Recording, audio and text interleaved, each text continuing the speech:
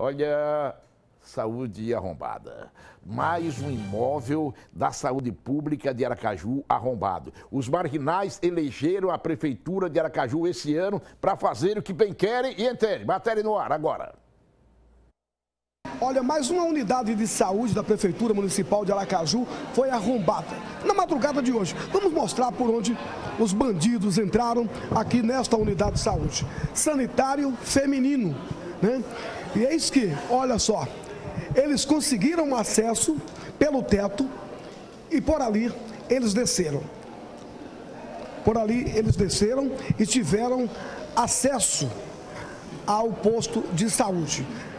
E aí eles vieram até aqui, o, setor de odontologia, este gabinete odontológico, vejam só o que eles fizeram neste gabinete odontológico. O pessoal está aguardando ainda a perícia. Não é? Outro local que os marginais tiveram acesso nesta unidade de saúde do bairro Getúlio Vargas, um populoso bairro, né?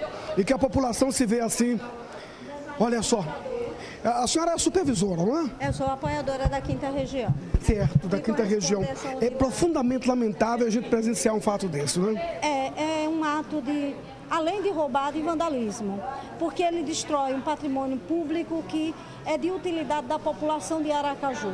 Então isso causa um grande constrangimento e uma grande tristeza, porque a gente vê que não está só prejudicando a uma minoria, e sim a grande população de Aracaju, que vem sofrendo com esses atos que vem acontecendo repetidamente em várias unidades de saúde.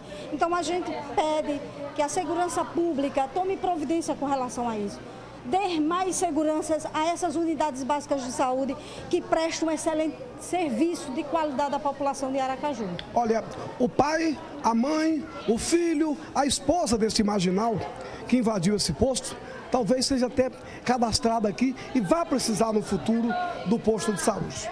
Mas infelizmente eles não pensam assim. E aí o que levaram daqui? Levaram o computador completo, é um microsystem que pertence a é odontóloga, né? é de uso particular, levaram.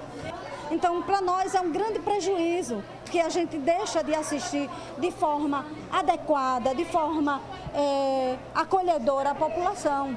A população, mais uma vez, sai perdendo por conta de, de atos como esse, de bandidos que não têm nem sequer pena dos seus próprios parentes que faz o que utiliza essa unidade de saúde. Perfeito. Olha só o estrago aqui no chão.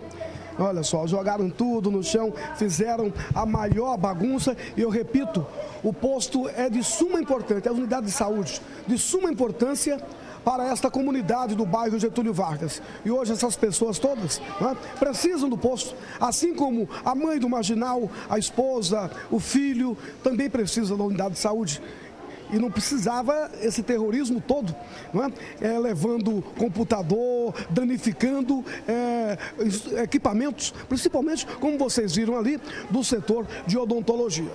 Se não quer que a notícia seja divulgada, não deixe que o fato aconteça.